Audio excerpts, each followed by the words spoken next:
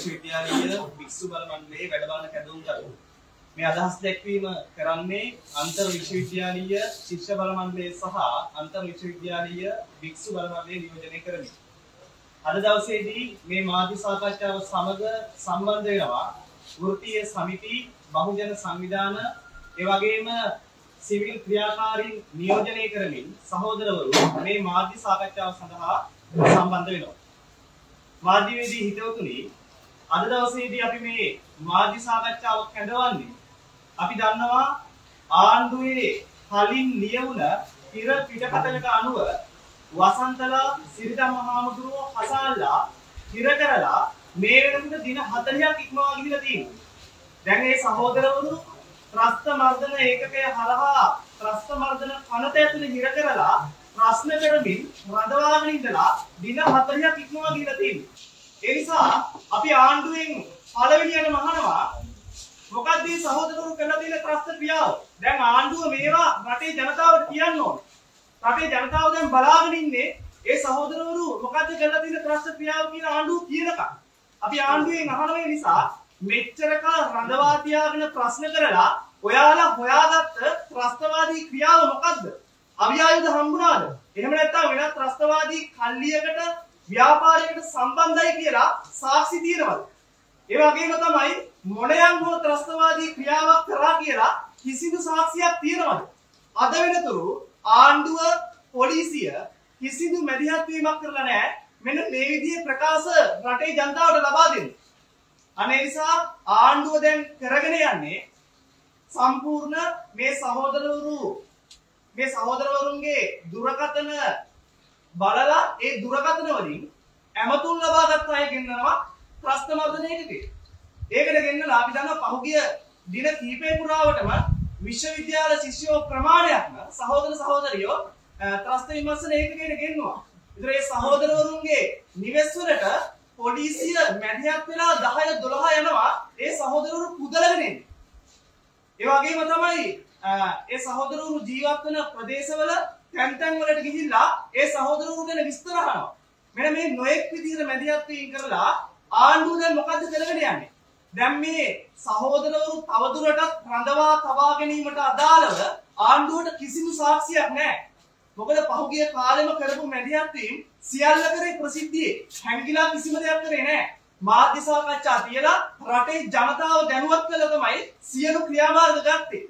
ඒතර ආණ්ඩුවට දැන් සාක්ෂි නැති නිසා ආණ්ඩුව විශ්වවිද්‍යාල ශිෂ්‍යෝ ඒ වගේම මේ අරගලයට සම්බන්ධ ක්‍රියාකාරීන් ත්‍රස්ත විමර්ශන ඒකකට කැඳවමින් ඔවුන්ගෙන් ප්‍රශ්න කරමින් ඉන්නවා. ඔවුන්ගෙන් සාක්ෂි ලබා ගැනීම සඳහා වූ නිෂ්ඵල උත්සාහයක ඉන්නවා. එනිසා අපි කියනවා ඔය උත්සාහය සම්පූර්ණ නිෂ්ඵලයි. මොකද ඔහොම නෙමෙයි තව 10000 ගාණක් ගෙනල්ලා ප්‍රශ්න කරා කිසිදු සාක්ෂියක් හම්බෙන්නේ නැහැ. කිසිදු සාක්ෂියක් හම්බෙන්නේ නැහැ. මොකද අපි මේ අරගලය කරේ පැහැදිලි අරමුණකින්. ඒ නිසා ත්‍රස්ත විමර්ශන ඒකකයට අපේ සහෝදරවරු ගෙන්නන්න අවශ්‍යතාවයක් නැහැ. මේ අරගලයේ ප්‍රකාශය කියවලා බලන්න. ඉල්ලීම් කරපු ඒ ඉල්ලීම් ටික කියවලා බලන්න. අන්තරේ විදිහට මේ සටන පටන් ගන්නකොටම අපි මුලින්ම යම්කිසි ප්‍රකාශයක් නිකුත් කරා. ඉල්ලීම් ටිකක් නිකුත් කරා. වැඩපිළිවෙලක් නිකුත් කරා. එතනින් එහාට ගිහිල්ලා අපි පොදුවේ හදපු ක්‍රියාකාරී සැලැස්මක් මේ අරගලයට අඩිතාලමක් දැම්මා. අන්න ඒ ප්‍රකාශ ටික කියවන්න. මේ අරගලේ කළා තියෙන්නේ මොනවාටද කියලා ඒ ප්‍රකාශ හරියට කියවලා බලන්න. මේ සහෝදරෝ ගැන ප්‍රශ්න කරන්න නෙමෙයි දැන් අවශ්‍ය වෙන්නේ. ඒ නිසා අපි කියනවා ආණ්ඩුවේ තක්සේරුව මොන වගේද කියලා කියන්න ආණ්ඩුව තමයි ගන්නෙ. එතකොට මේ අරගලේ කරේ මොකටද කියලා පැහැදිලිව අපි දන්නවා. ඒ නිසා මේ අරගලේ කරේ අපි කිසිදු කෙනෙක් බලයට ගේන්න නෙමෙයි ජනතාවගේ අයිතිවාසිකම් දිනා ගැනීම වෙනුවෙන්. ඒ වගේම තමයි ප්‍රජාතන්ත්‍රවාදී රාජ්‍ය තුල සැබෑ ප්‍රජාතන්ත්‍රවාදය බිහි කිරීම වෙනුවෙන් ජනතාවට බලය පැවරීම වෙනුවෙන් තමයි මේ සියලු අරගලේ අපි මෙතෙක් කල දියත් කරගෙන ආවේ. ඒ නිසා අපි කියනවා රනිල් රාජපක්ෂලාට කමල් ගුණරත්නට ඒ වගේම තමයි දේශබන්දු එන්නකෝන්ලට එතනින් එහාට ගිහිල්ලා මේ ආණ්ඩුවේ රෙදි අතුල්ලන සියලු ආරක්ෂක නිලධාරීන්ට කියන්නේ මේ අරගලයත් එක්ක අපිත් එක්ක ඉන්න බහුතරයක් ආරක්ෂක අංශවල වැඩ කරන අපේ සහෝදරවරුන්ට නෙමෙයි අපි කියන්නේ ආණ්ඩුවේ රෙදි අතුල්ලන ඒ ආරක්ෂක නිලධාරීන්ට පොලිසිය හමුදාවේ ලොක්කෝ කියන කුක්කන්ට කුක්කන්ට අපි කියනවා පහුගිය කාලේ මේ උසස් තනතුරු වල හිටපු අයට මොකද්ද වෙලා තියෙන්නේ කියලා බලන්න දැන්. ඒ නිසා මේ ආණ්ඩුව වැඩි කාලයක් දුවන්නේ නැහැ. මේ ජනතා මතයක් නැති කිසිදු බලයක් නැති මේ ආණ්ඩුව තව වැඩි කාලයක් දුවන්නේ නැහැ. ඒ නිසා කරුණා කරලා මේ සංදර්ශන නවත්තන්න. දැන් ඔප්පු වෙලා තියෙනවා මේ සහෝදරවරු ගැන කිසිදු සාක්ෂියක් නැහැ. කරපු ත්‍රස්තවාදී ක්‍රියාවක් නැහැ. මේ ත්‍රස්තවාදී ක්‍රියාකාරකම් පහුගිය කාලය පුරාවටම සිදු කරපු අය තමයි මේ ජනතා අයිතිය වෙනුවෙන් හඬ නගපු අයව මර්ධනය කරමින් ඉන්නේ. ඒ නිසා බොහොම පැහැදිලි ආණ්ඩුවේ වැඩපිළිවෙල මොකද්ද කියලා. අපි දැක්ක පහුගිය දවස්වල අධ්‍යාරක්ෂක කලාප කියලා කොළඹ ප්‍රදේශ කිහිපයක් නම් කරා. ඒ වගේම තමයි උද්ඝෝෂණයක් ගැනීමට පැය 6කට කලින් අවසර ගත යුතුයි කියලා ගැසට් නිවේදන නිකුත් කරා. ඒ වගේම තමයි මේ වෙනකොට මාධ්‍යයට අදහස් දැක්වීමේ ඒ අයිතිවාසිකම් පවා ටිකින් ටික උල්ලංඝනය කරමින් තමයි යන්නේ. ඒ නිසා බොහොම පැහැදිලිව කියනවා මේ සංදර්ශන මේ සියල්ල දැන් නවත්තන්න. ආණ්ඩුවේ වැඩපිළිවෙල තියෙන්නේ ජනතාවගේ මේ ප්‍රශ්න වලට ආර්ථික දේශපාලනික ප්‍රශ්න වලට උත්තර දෙන එක නෙමෙයි ජනතාවගේ බඩ පුරවන එක නෙමෙයි ජනතාවගේ කටවල් වහන එක තමයි මේ ආණ්ඩුවේ පැහැදිලි වැඩපිළිවෙල බවට පත් වෙලා තියෙන්නේ. නිසා අපි නැවත නැවතත් කියනවා තව දින කිහිපයක් යනකොට මේ සහෝදරවරු තුන්දෙනා ත්‍රස්ත මර්ධන පනත ඇතුලේ අනීතිකව අසාධාරණව සිරගත කරලා මාස දෙකක් සපිරෙනවා. අන්නේ මාස දෙක වෙනකොට අපි අනතුරු ඇඟවීම කරනවා කරුණා කරලා මාස දෙකට කලින් ඒ සහෝදරවරු නිදහස් කිරීමට අදාළ මැදිහත් වීම කරන්න. මැදිහත් වීම කරන්න. එසේ නොමැතිනම් පැහැදිලිවම මේ රටේ ජනතා බලය තව තවත් තීව්‍ර කරමින් තව තවත් සංවිධානාත්මකව අපි ඉදිරියේදී මේ සඳහා මුහුණ දෙන්න සූදානම් කියන කාරණාව විශේෂයෙන්ම මේ ආණ්ඩුවට අපි මතක් මම ජෝසස්කාරයෙන් ලංකා ප්‍රසාන්තමේ ලේකම් විදන්නවා දැන් මේ වෙනකොට වසන්ත මුදලිගේ අසාන් ජීවන්ත සිරිදම් හාමුදුරුවෝ ත්‍රස්තවාදයේ වැළැක්වීමේ පනත යටතේ රඳවගෙන 43 දවසකටත් වැඩියෙන් ගිහිල්ලා තියෙනවා. එතකොට දැන් මේ අය දැන් මේ රඳවගෙන ආණ්ඩුව කරන්නේ කුමක්ද කියන ප්‍රශ්න අපිට තියෙනවා. දැන් මේ වෙනකොට අපි දන්නවා තවත් ශිෂ්‍ය නායකයන් ශිෂ්‍ය ක්‍රියාකාරීන්ට ත්‍රස්ත විමර්ශන කොට්ටාසෙ එන්න කියලා තියෙනවා. දැන් මේ ලෑස්ති වෙන්නේ ආණ්ඩුව මොකටද? අපි දන්නවා දැන් පෞගිය අරගලේ කිසිදු ත්‍රස්තවාදී ක්‍රියාවක් නැහැ කියන එක පැහැදිලි. සමස්ත ජනතාව එක්කව වෙලා කරපු අරගලයක් මේ. ඉතින් ආණ්ඩුව මේ දින 43 තුලම විවිධාකාර උප්පර වැට්ටි දාලා සූදානම් වුණා නම් වුන් කොටු කරන්න කිසිම දෙයක් නැහැ. එහෙනම් මොකද තවත් තියන්නේ? පැහැදිලි දේ මොකද්ද? ආණ්ඩුව තවමත් කැමති මේ මර්ධනය ඉස්සරහට අරන් යන්නේ. ඇයි මේ වෙනකොට අපි දන්නවා විවිධ ශේෂ්ත්‍රවල ප්‍රශ්න මතුවලා තියෙනවා කාටවත් ජීවත් වෙන්න බෑ. වැටුප් අරගල මතුවෙන්න නියමිතයි සෑම ශේෂ්ත්‍රයකම.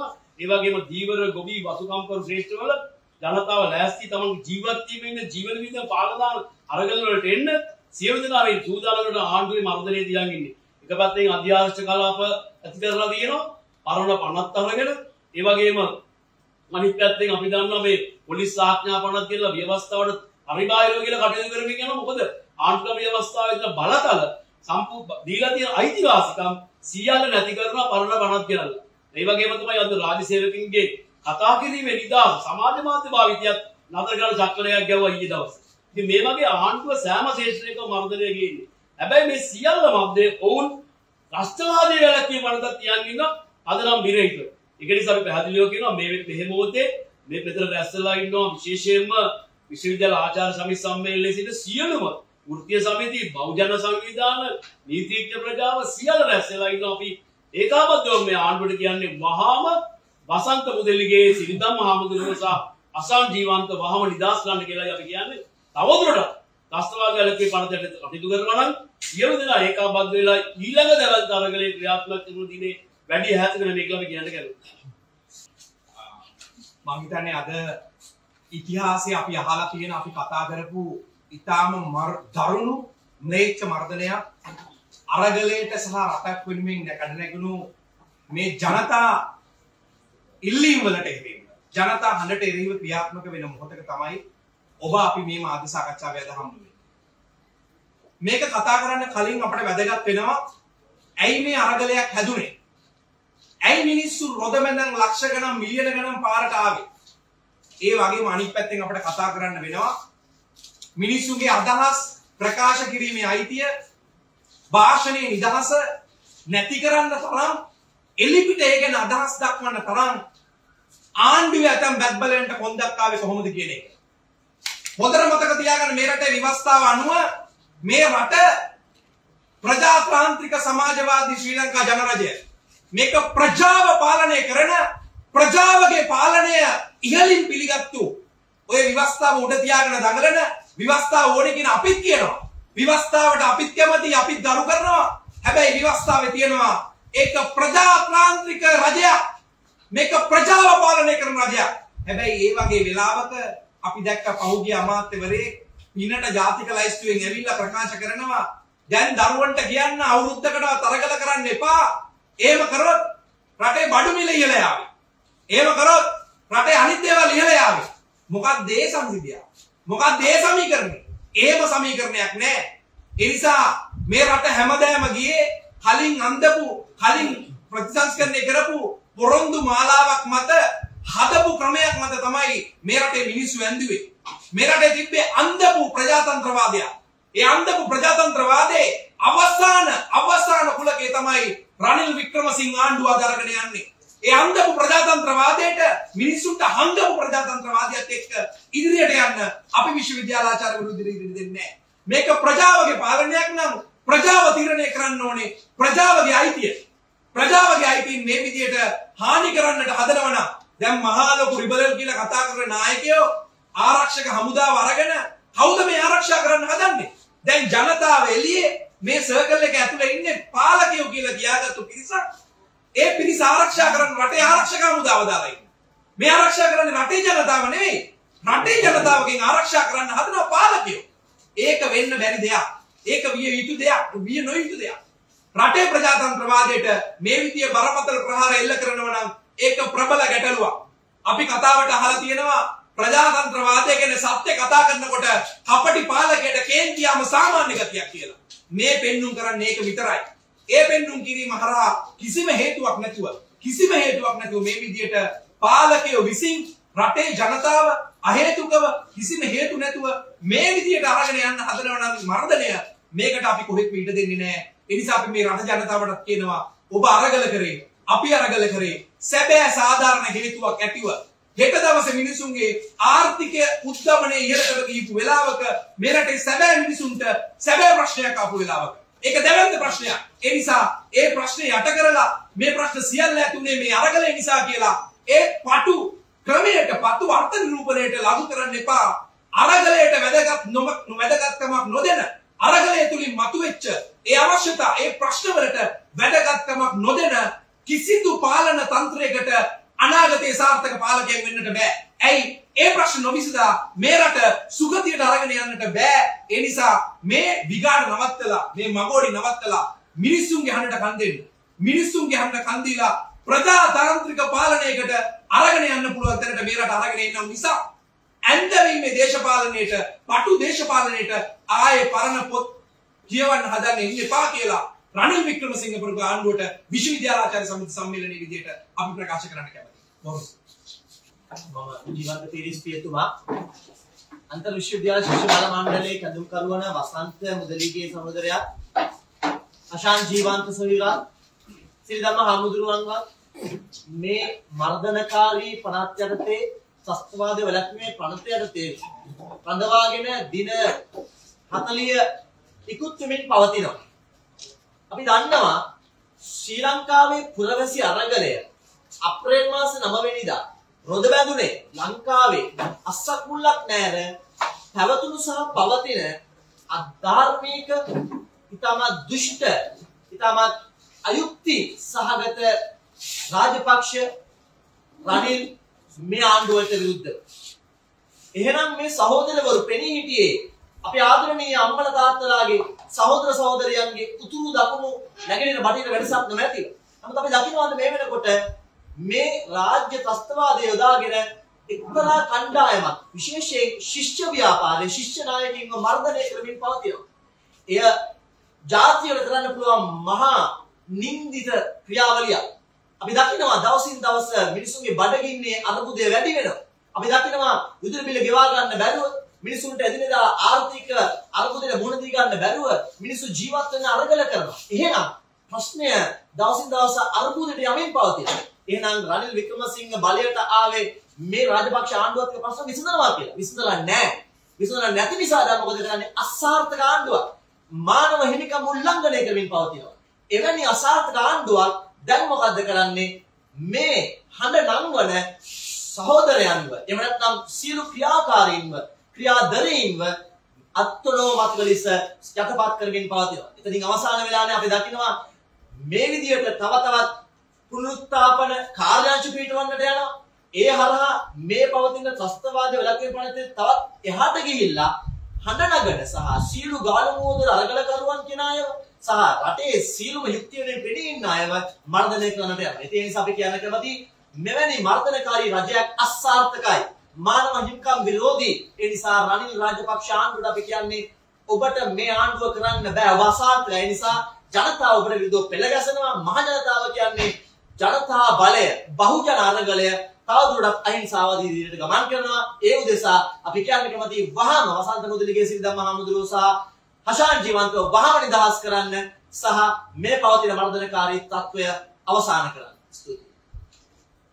මම ආචාර්ය මහින් මෙන්ඩිස් ශ්‍රී ලංකා විරුද්ධ විශ්වවිද්‍යාලයේ සමාජ අධ්‍යයන අංශය නියෝජනය කරන කෙනෙක්.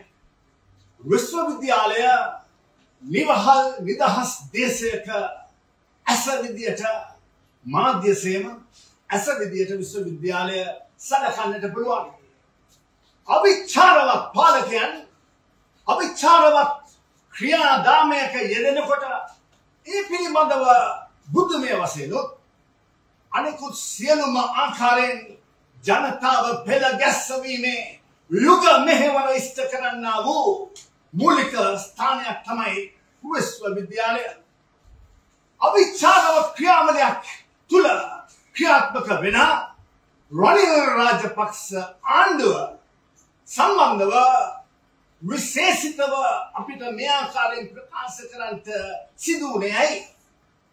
වසන්ත මුදලිගේ සිරිදම්ම හාමුදුරුවෝ හෂාන් මේ සියලු දෙනා දිවි හිමියෙන් ඔවුන් හඬ නගා ප්‍රකාශ කළේ කුමක්ද? ඔවුන්ගේ පුද්ගලික ප්‍රශ්නයක් ගැනද? විශ්වවිද්‍යාල ශිෂ්‍යයන්ගේ පුද්ගලික ප්‍රශ්නයක් සම්බන්ධවද? නැත. ඔවුන් සමස්ත ජනතාව දැඩි ලෙස පීඩනයට ලක් වී තිබෙන මොහොතක ඔවුන් කතා කළේ සමස්ත රට වාසීන්ගේ යහපත විමුක්තිය වෙනුවෙන් අවිචාරවත් බව දිගින් දිගටම දිගින් දිගටම ජයග්‍රහණය කරන්නට රනිල් වික්‍රමසිංහ විනෝදංශයක් විදියට කටයුතු කරන බව පැහැදිලි. දේශීය වශයෙන්ුත් ජාත්‍යන්තර වශයෙන්ුත් මොහු කිසිවෙකුට ඇහුම්කන් දෙන්නේ නැති බව සියලු දෙනාට පැහැදිලි. දේශේ ජනතාව සෑම දිස්ත්‍රික්කයම සෑම ආසනයකම අතිශය පිළිකුලෙන් යුතුව පරාජය කළ මේ මිනිස්සාව තව දුරටත් මේ ආකාරයෙන් ජනතාවට බැට දෙදී කටයුතු කිරීමට කිසිසේත් ලැහැස්ති නැත කියන කාරණාව අපි දිගින් දිගටම මාධ්‍ය ප්‍රකාශ හරහා මාධ්‍ය හමුවලට ඇවිල්ලා ප්‍රකාශ කරන්නේ මොවුන් හිතනවා නම් අරගලවාදීන් අරගලය සමස්ත ජනතාව මෙතන්ට එන්නට බැරි ජනතාව සියලු දෙනා නිහඬව බුදියගෙන ඉන්නවා කියලා අපි ඔවුන්ට කියන්න ඕනේ. ඔබ ගිනි කන්දක් උඩ තමයි වාඩි වෙලා ඉන්නේ. කොතන කුමන ආකාරයකින් මේ අවිචාරවත් ක්‍රියාවලියට එරෙහිව මේ ගිනි කන්ද පුපුරනවද කියන එක ඔබට හිතා ගන්නට පුළුවන්කමක් තිබුණාට සාමාන්‍ය කුඩා දරුවෙකුට වුණත් තේරෙන්න වූ දෙයක්. මේ රට එක්සත් ජාතීන්ගේ මානව අයිතිවාසිකම් පිළිබඳ විශ්ව ප්‍රකාශය තිබෙන්නා වූ සියලුම සියලුම කොන්දේසි සියලුම ආටිකල්ස් සියලුම දේ උල්ලංඝනය කරපු රටක් right to life ජීවත් වීමේ අයිතියෙන් පටන් ගත්තම සියලුම දෙනාගේ අයිතිවාසිකම් වලට එරෙහිව සහ මුලින්ම දියත් වෙච්ච වනචර ආණ්ඩුවක් කියන එක රනිල් වික්‍රමසිංහට අපි දේශීය වශයෙන් ඒ බලපෑම කරමින් කියන්නේ ජාත්‍යන්තරයට ඔබ ඉඩ දිය යුතු නැහැ. ලැජ්ජාවක් තිබෙන පාලකයෙක් නම් ඇඟිලි දික් කරන්නට අපගේ අනර්ග වූ ශ්‍රී ලංකික දේශය හිතුවක්කාරී පැසිස්වාදී රජයක් මේ රටේ මිනිස්සුන්ට පෙටහොන්දක් නැතේ කියලා ඒ අය ඒ ආකාරයෙන් අවලාද නංවන්නට අපි ඉඩදිය යුතු නැහැ.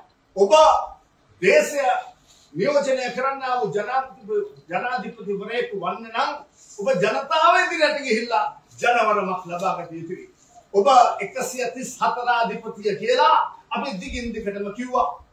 වනච්චර කල්ලියක් කුමන්ත්‍රණකාරීව මේවලා ඔබ මේ තත්ත්වයට ආවයි කියන එක අපිට පැහැදිලි.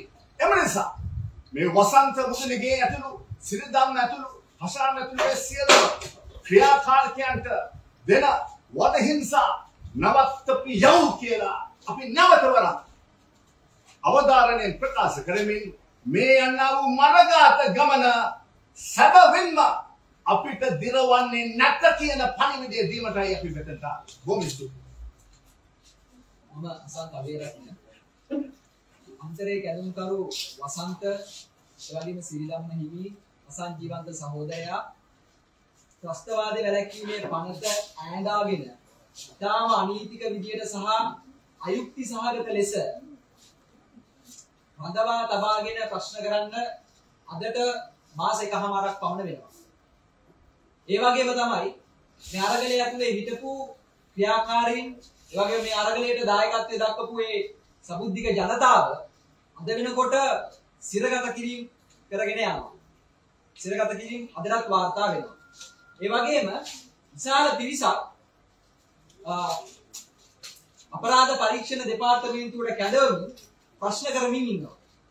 මීට පෙර මමත් අපරාධ පරීක්ෂණ දෙපාර්තමේන්තුවට ගෙනල්ලා පැය දෙකහමාරකට ආසන්න කාලයක් ප්‍රශ්න කරා. ඒ ප්‍රශ්න කිරීම අතරතුරදී මම හඳුනාගත් එක දෙයක් තියෙනවා. ඒක තමයි දැන් මේ අපරාධ පරීක්ෂණ දෙපාර්තමේන්තුව ත්‍රස්ත විමර්ශන කොට්ටාසවල ඉන්න මේ බුද්ධි නිලධාරීන්ට ඉතාම වෙහෙසක්. වෙහෙසක්. ඇයි ඒ වෙහෙසටපත් වෙලා ඉන්නේ?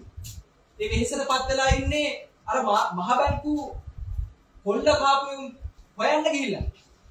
පාස්කු ප්‍රහාරයේ ඒ අපරාධකාරුවන් හොයාගෙන ගිහිල්ලාද මේ මහන්සි වෙලා ඉන්නේ. එමන් නැත්තම් මේ රටේ වංචා දූෂණ වලට සම්බන්ධ මේ දේශපාලන මැති ඇමතිවරු ඒ වගේම මාධ්‍යවේදීන්ව ඝාතනය කරපු අතුරුදහන් කරපු ඒ අපරාධකාර දේශපාලකයෝ සහ ඔවුන්ගේ හෙන්චයියන්ව හොයන්න ගිහිල්ලාද මේ මහන්සි වෙලා ඉන්නේ. අර සීනිබදු වංචාව හොයන්න ගිහිල්ලාද මේ බුද්ධි නිලධාරි මහන්සි වෙලා ඉන්නේ. නෑ. මේ අරගලය ඇතුලේ ගෝඨාභය රාජපක්ෂ පන්නනවා වගේම එතනින් එහාට ගිහිල්ලා විධායක ජනාධිපති ක්‍රමය අහෝසි කරන්න කියපු. ඒ වගේම ජනතාවට සහන දෙන්න කියපු. මෙයා අයුක්ති සහගත මේ පීඩාකාරී බදු ප්‍රතිපත්තිය වෙනස් කරන්න කියපු. ඒ වගේම මේ 225 එපා කියපු. ඒ වගේම අතුරුදහන් ඝාතන වලට යුක්තිය සාධාරණ ඉෂ්ට කරන්න එතනින් එහාට ගිහිල්ලා මේ ජනතාවගේ ඉල්ලීම් මේ ආර්ථිකයේ ව්‍යුහාත්මක වෙනසක් ඇති කරන්න කියලා මේ සමාජ පරිවර්තනයක් ඕනි කියපු ජනතාව ඒ සබුද්ධික අරගල කරුවෝ පිටිපස්සේ හඹාගෙන ගිහලා තමයි දැන් මේ CID එකේ උන්න හැලට මහන්සි වෙලා තියෙන්නේ. ඒක නිසා දවසකට පස් දෙනා ගානේ ගෙනල්ලා ප්‍රශ්න කරන්න මේගොල්ලෝ දාගෙන ඉන්නවා. ඒක නිසා අපි කියන්න කැමති මේ මර්ධනයේ එහෙම් පිටින්ම ක්‍රියාත්මක වෙනකොට අද වෙනකොට ලංකාව ලෝකේ තියෙන මොන තැනද? ඒක තමයි අද වෙනකොට මන්ද පෝෂණය අතින් ලංකාව ලෝකයේ 6 වෙනි තැනට අවිල්ලා තියෙනවා. දකුණු ආසියාවේ දෙවෙනි තැනට අවිල්ලා තියෙනවා. අතුරුදහන් කිරීම අතින් ලංකාව කියන්නේ ලෝකයේ දෙවෙනි ස්ථානය. ඒ වගේම තමයි උද්දමනය අතින් මෙන්න මෙහෙමයි මේ රට පාලනය කරපු මේ කාලකන්ණි නඩය මේ රට ජාත්‍යන්තරයට අරන් ගිහිල්ලා තියෙනවා. ඒ නිසා අපි කියනවා ජනතාවගේ මේ දැවෙන ප්‍රශ්න මර්ධනය යටපත් කරන්න කියලා හිතනවා නම් අපි කියන ආණ්ඩුවට මේ පෙන්වන්නේ වෙන මොකක්වත් නෙවෙයි මේ ආණ්ඩුව පණ අදින ගතිය තමයි මේ මර්ධනයෙන් පෙන්වන්නේ. ඒ නිසා දැන් රැඳවුම් නියෝග දෙන්න අලුත් උප්‍රවැට්ටියක් කරන්න ඇවිල්ලා තියෙනවා. ඒක තමයි පුනරුත්ථාපන කාර්ය කාර්යාංශ පනත් කෙටුම්පත. දැන් අද දවසේ පාර්ලිමේන්තුවේ ඉදිරිපත් වෙනවා. දැන් මේක ඇතුලේ මොකද්ද කරන්නේ? අපි දැක්කා මේ ත්‍රස්ත වාදය වැළැක්වීමේ පනතට එරෙහිව මේ රැඳවුම් නියෝගවලට එරෙහිව දිගින් දිගට මේ රටේ විපක්ෂ දේශපාලන පක්ෂ වෘත්තීය සමිති බහුජන සංවිධාන සිවිල් සමාජ සංවිධාන එකතු වෙලා දැවැන්ත විරෝධයක් ගොඩනැගුවා. මේ විරෝධය ඇතුලේ මේ ආණ්ඩුවට මේ මර්ධනය තවදුරටත් ත්‍රස්තවාදය වැළැක්වීමේ පනතින් හරි රැඳවුම් නියෝග වලින් හරි ඒ නමෙන් ගෙනියන්න ගයි ඉස්සරහට. ඒකිට දැන් ගේනවා අලුත් උප්පරවැට්ටියක්. මොකද්ද? පුනරුත්ථාපන පනත. මේක ඇතුලේ මොකද්ද කරන්න හදන්නේ? මේ සටන්කාමින්ව මේ අරගල කරුවන්ව අභූත චෝදනා නගලා මේ විදිහට ගෙනල්ලා මේ කරන්න හදන්නේ ආය අලුත් වටේකින් රැඳුම් නියෝග දෙන්න තමයි. ඒතකොට රැඳුම් නියෝග කියන නම භාවිතා නොකර ඒ වෙනුවට පුනරුත්ථාපනය කියන නම පාවිච්චි කරලා මේක කරගෙන යන්න හදනවා රනිල් වික්‍රමසිංහ ඇතුළු මෙයාන්. ඒක නිසා අපි කියනවා දැන් හොඳට කල්පනා කරලා බලන්න නැවත මතක මතක් කරගන්න දැන් දේශපාලනයෙකුට ගමට යන්න බැරි තත්ත්වයක් උදා වෙලා තියෙන්නේ. දැන් ඌ පාරවල් තමයි හම්බ වෙන්නේ. හෙල්මට් පාරවල් හම්බෙන්නේ. ඊ අපි දැක්කා මාතර නිපුණ රණවකට ජනතාව දක්වපු විරෝධය. ඒ නිසා ජනතාවගේ ප්‍රශ්න මෙහෙම තියෙද්දි උඹලා හිතනවා නම් මර්ධනයේ මේ ජනතාවගේ බලය මේ අරගල යටපත් කරන්න ඉතිහාසයේ කවදාකවත් එහෙම වෙලා නැහැ. මර්ධනය හමුවේ මිනිස්සු නැගිට්ටා මිසක්කා මේ මර්ධනයට යටපත් වෙලා ජීවත් වෙන්න මිනිස්සු කැමති නැහැ කියන එක ඉතිහාසයේ අරගල ඇතුලේ ඔප්පු කරලා තියෙනවා. අපි කියනවා රනිල් වික්‍රමසිංහ රොත්තර පොත් කියවලා ප්‍රංශ විප්ලවයේ පාඩම් පොඩ්ඩක් කියලා. මම දුමින්දනා ගුමු සංවිධායක ලේකම් සම්කර වර්ග මධ්‍යස්ථාන. සාමාන්‍යයෙන් මේ පිටකොකුවේ දකින දර්ශනයක් තියෙනවා සමහර අවස්ථාවල. රොකට් ගහපු මිනිහා දුවනවා රොකට් එක අරගෙන. ඊළඟට ඒක පස්සේ මිනිස්සු පන්නනවා. ටික දුරක් දුවනකොට රොකට් කාරයා මිනිස්සු කෑ ගහනවා පිටිපස්සෙන් රොකට් කාරයා පොකට් කාරයෙක් කියලා. ටික දුරක් යනකොට පොකට් කාරයා කෑ ගහනවා පොකට් කාරයා පොකට් කාරයා. දැන් මේ රටේ වෙලා තින්නේ රාජ්‍ය දේපල කොල්ල කාපු පොදු ජනතාවගේ දේපල කොල්ල කාපු අය ඒගොල්ලෝ කෑ ගහනවා මෙන්න මේගොල්ලෝ තමයි පොදු දේපලට හානි කරේ. මේ රටේ මුළු ඉතිහාසෙම රාජ්‍ය ත්‍රස්තවාදී. ත්‍රස්තවාදී කියන වචනේ තේරුම තමයි ත්‍රස්තය පාවිච්චි කරමින් දේශපාලන බලය පවත්වාගෙන යනවා. ඒතකොට කවුද ත්‍රස්තය පාවිච්චි කරන්නේ? මේ මොහොතේ කවුද ත්‍රස්තය පාවිච්චි කරන්නේ? අධිආරක්ෂිත කලාප නම් කරලා තියෙන කවුද? කවුද දැන් ගේම් හදන්නේ කෙලින්ම රඳවාගෙන ප්‍රශ්න කිරීම සඳහා වසන්තරව යොමු කරලා තියෙන කවුද? කවුද උද්ඝෝෂණ මැඩලන්න පොලිසිය කොහෙද මන්ද තියෙන වගන්තියක් පාවිච්චි කරන්නේ? කවුද උත්සාහ කරන්නේ ජන මේ අරගල කරුවන් රඳවගෙන තියාගන්න. ඉස්සරහට පනත් නිර්මාණය කරනවා. කවුද ඉතිහාසයේ මේ රටේ 60000ක් ඝාතනය කවුද ඉතිහාසයේ මේ රටේ 71 අරගලේ දසදහසක් ඝාතනය උතුරේ තරුණයින්ව ඝාතනය කරේ කවුද? යාපනයේ පුස්තකාල ගිනි තිබ්බේ කවුද? මේ රටේ ඈත ඉතිහාසය පරීක්ෂා කරත් මේ ගෙවිච්ච අවුරුදු දෙක පරීක්ෂා කරත් මුළු ඉතිහාසෙම මේ රටේ ජනතාවට එරෙහිව ත්‍රස්තය පාවිච්චි කරපු රාජ්‍ය ත්‍රස්තවාදය පාවිච්චි කරපු ඉතිහාසය. ඉතින් උඹලා තමයි ත්‍රස්තවාදී. අපි අර මලගවල් පප්පට කියනවා රනිල් වික්‍රමසිංහට මේ රටේ ත්‍රස්තවාදීන් කියලා හඳුන්වන්න පුළුවන් අය තමයි මේ රටේ රාජ්‍ය බලය ලබාගෙන හිටපු පැලැන්ති. ඒ පැලැන්ති තමයි Tamanට ඕන ඕන විදිහට මිනිස්සු පාරවල් වල මර මර ඡන්දවලට මර මර අතුරුදහන් කරලා මාධ්‍ය විදිහින් ඝාතනය කර කර මාධ්‍ය ආයතන පහර දෙමින් මේ රටේ ඉතිහාසයේ ගෙවිච්ච දශක ගණනාව ගත්තොත් එහෙම මේ සිදුවීම් වල ඇතිතරම් පිරිච්ච ඉතිහාසයක්. ඒ නිසා රාජ්‍ය ත්‍රස්තවාදය තමයි මේ රටේ තිබුණේ. ඒ නිසා මේ රාජ්‍ය ත්‍රස්තවාද රීව තමයි අරගලේ පැනනගන්නේ. ඊළඟට අපි අපේ රටේ ජනතාවට මේ පණිඩේ දෙමු. අප්‍රේල් 9 වෙනිදා වෝටා ගෝ හෝම් කියලා ගෝල් ෆේස් එකට එනකොට ඒ ආපු ජනතාවට තිබුණා බලාපොරොත්තු. හැබැයි ඒ ආපු ජනතාව අපි කතා කරා බොහෝ දෙනෙක් එක්ක ඒ හම්බෙච්ච හැම කෙනෙකුටම තිබුණ ප්‍රශ්නයක් මේ අරගලේ ඇත්තම ජයග්‍රහණය කරන්න පුළුවන්ද කියලා. ගෝඨාභය එලවන්න පුළුවන්ද කියලා. මෙහෙම ගෝල් ෆේස් එක ඇවිල්ලා පුළුවන්ද මේක කරන්න. මේ ආදී 100ක් 100ක් 200ක් ප්‍රශ්න තිබුණා ඒ හැම මූලකම තිබුණා. ඒ හැම කෙනෙක් ගාම මේ ප්‍රශ්න තිබුණා.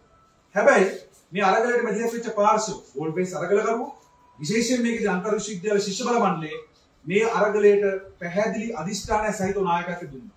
ඒව නායකත්වය දුන්නේ නැත්නම් ජුලි 9 වෙනිදා කියලා දිනයක් උදා වෙන්නේ නැහැ. සමහරුන්ට මේ අරගලයේ ඇතුළේ ඉඳගෙන කල්පනා කරලා සමහරු වෝටාබේ එලවන්න බෑ. එලවනවා නම් පාර්ලිමේන්තුවේ ගේන්න ඕනේ විශ්වාස භංගයක්, දෝෂාභියෝගයක්, දෝෂාභියෝගයට අච්චර ගාණක් ඕනේ. ඕක කරන්නේ කොහොමද? ඕක ඉතින් කරන්න බැරි වැඩක් නේ වෙන පාරක් බලාගමු, වෙන අතක් බලාගමු කියලා කකුල් දෙක හොලෝ හොලෝ හිටිය සමහරු. හැබැයි ශිෂ්‍ය ව්‍යාපාරයේ අන්තර් විශ්වවිද්‍යාල ශිෂ්‍ය බල මණ්ඩලයේ මේකට පැහැදිලිව නායකත්වය දුන්නා. නිසා අපි රටේ ජනතාවට කියනවා. එදා 9 වෙනිදා බුද්ධ්‍යංශ වාර්තාවට අනුව ලක්ෂ 20ක් ආවා. මේ අරගලයට කෝටියක් විතර ජනතාව විටින් විට විටින් විට විවිධ අවස්ථා සම්බන්ධ වෙලා තියෙනවා. මේකට බලාපොරොත්තු වෙන තියෙනවා. Facebook එකේ පෝස්ට් එකක් අනිශා කරලා තියෙනවා. එහෙම නැත්නම් හදවතින් හරි මේ අරගලෙත් එක්ක හැම කෙනාම ඉඳලා තියෙනවා. ඒ හැම කෙනාටම කියනවා ඔබ ශිෂ්‍ය ව්‍යාපාරයට මේ විදිහට මර්ධන ඉස්සරහට ඔබ නිහඬනවා නම් පැහැදිලිවම ඔබ ශිෂ්‍ය ව්‍යාපාරයට මේ කෙරි මේ කෙරි චරගලයේදී ඔබ ශිෂ්‍ය ව්‍යාපාරට ණය ගැති. මේ රටේ ශිෂ්‍ය ව්‍යාපාරට ඔබ ණය ගැති. ඔවුන් ඔබට ගෝල් ෆේස් එකේදී ඔවුන් ඔබත් එක්ක ගිවිසුමකට ආවා නම් ඔව් අපි ගෝල්ට එලවන්න අපි උපරිම දහය යොදවනවා කියලා ඒක දැන් වෙලා තියෙනවා. ඒක වුණාට පස්සේ දැන් ඒ ආපු පාරතන්ත්‍රය ශිෂ්‍ය ව්‍යාපාරයට යමක් කරලා තිනවා. ඒ නිසා මේ දේ වෙනස් කරන්න මේ රටේ මහ ජනතාවට වගකීමක් තියෙනවා කියන එක අවධාරණය කරනවා. මේ රටේ මහ ජනතාව අන්තර් විශ්වවිද්‍යාල ශිෂ්‍ය බල මණ්ඩලයේ ණයයි ඒ ණය ගෙවන්න ඉදිරියට එන්න කියලා අපි ඔවුන්ගේ ඉල්ලා හිටියා.